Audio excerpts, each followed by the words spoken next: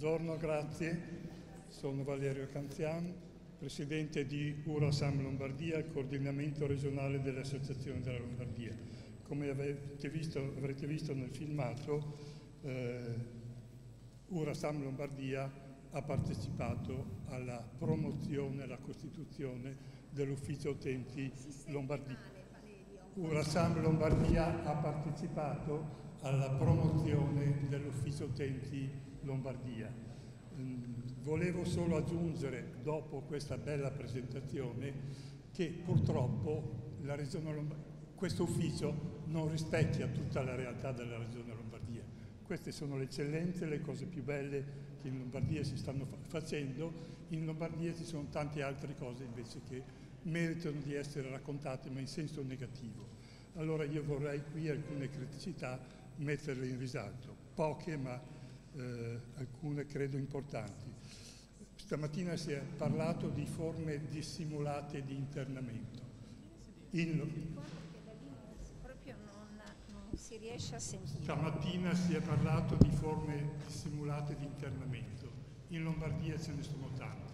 Allora il totale dei eh, luoghi di delle posti letto di residente sono circa 4.150 in Lombardia tra queste ci sono sì le comunità dei 20 posti letto, ma ci sono anche luoghi di 100, 200, 400 persone, che sono più o meno un po' un richiamo agli internamenti precedenti, dove riabilitazione se ne fa poca, si fa interna in intrattenimento e si crea cronicità. Quei posti letto, che poi non sono mai sufficienti, non bastano mai e eh, assorbono il 70% e più di risorse delle spese rivolte alla salute mentale. Stamattina è stato presentato nelle tabelle dal dottor eh, Starace che la Regione Lombardia financia, eh, spende il 4% della, delle spese della salute, i dati che risultano a me non è il 4% ma il 3-5%. Um, ecco, queste sono alcune delle situazioni. Un altro dato credo eh, che va indicato è il, la percentuale elevata di contenzioni che ci sono in Regione Lombardia. Abbiamo dei dati forniti dalla Regione Lombardia come dati medi che sono circa sul 12% delle persone ricoverate vengono contenute. Eh, c'è un massimo di SPDC che va dallo 0 un minimo che dallo 0 a un massimo del 34%. Quindi capite che all'interno di questo quello che noi vorremmo chiedere, vorremmo sapere, e l'abbiamo anche chiesto recentemente, venerdì scorso, in un convegno dedicato alla salute mentale, che questi dati forniti in questo modo ci servono poco. Abbiamo bisogno dei dati per ogni singolo SPDC se vogliamo iniziare a impostare un lavoro di non solo di diminuzione della contenzione, ma arrivare all'eliminazione. Avevamo insistito nell'ultima riforma salute mentale di inserire come uno degli obiettivi la eliminazione della contenzione. Eh, durante la notte qualcuno ha trasformato la eliminazione in eh, diminuzione della contenzione.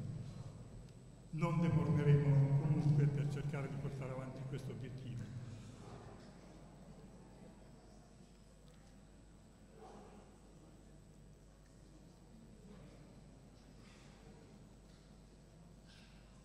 Un altro, un altro, elemento che ci sembra pericoloso in Regione Lombardia è legato alla eh, privatizzazione. C'è un processo che è iniziato già vent'anni fa di spinta alla privatizzazione, non solo le comunità, ma adesso anche per tutto quello che viene considerato il problema della questo problema della cronicità spesso ci finiscono poi anche le persone che hanno un disagio psichico. Quindi delegare qualcuno, un gestore, un gestore che poi non sono gestori piccoli, ma sono gestori che gestiscono migliaia e migliaia di, di persone, di pazienti, dove poi il rapporto con la cura sparisce di fatto. Il rapporto, quello che si è parlato stamattina qui di progetto individuale, di budget di salute, viene a sparire. È vero che ci sono anche, c'è uno dei punti anche invece da sottolineare in senso positivo, sono delle, delle sperimentazioni che si sta iniziando a fare sui budget di salute. Ecco, a Lombardia si sta rendendo conto che i costi sono elevati, che il modello che ha instaurato di di eh, residenzialità viene a costare molto, non è più sostenibile. Quindi si rende conto della necessità di avviare dei cambiamenti, cambiamenti che però sono molto difficili una volta che si è instaurato un modello di questo tipo. Terminerei qui per non prendere altro tempo.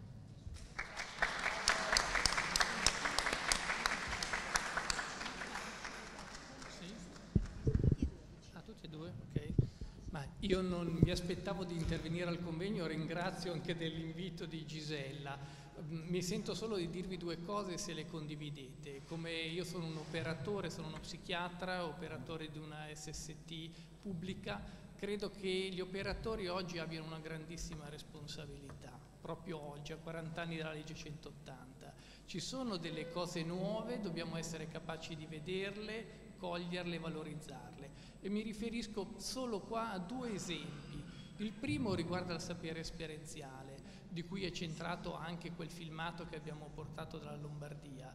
Dobbiamo essere capaci di cogliere, costruire, probabilmente ci sono ancora tanti aspetti che dobbiamo sviluppare approfondire, anche se esistono già sul territorio nazionale delle realtà, tra cui per esempio Trento ed altre, non solo Trento, anche in Lombardia dove il sapere esperienziale è valorizzato, dobbiamo capire come poterlo introdurre meglio, come diceva giustamente Paolino, la, al termine del, del, suo filmato smettere di curare per incominciare a prendersi cura delle persone e quindi integrare al meglio il sapere esperienziale con il sapere cosiddetto tecnico nostro. E la seconda cosa, autori di reato, pazienti autori di reato. Um, io mi sentirei come operatore sanitario di dire che non tutti gli operatori sanitari sono spaventati nell'occuparsi anche di questa popolazione, di questa utenza, ehm, per la mia piccolissima esperienza personale nel mio territorio posso dire che abbiamo avuto eh, esperienze anche positive e incoraggianti di utenti, autori di reato in libertà vigilata,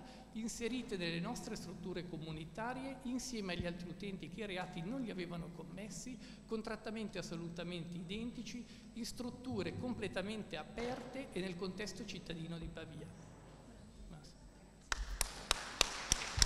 Del, uno dei pochi esempi di buone prassi. Stamattina si parlava, di, si parlava di la necessità di creare delle teorie. Io credo che non si tratta tanto di creare teorie quanto di creare delle buone prassi e dalle buone prassi poi definire le teorie.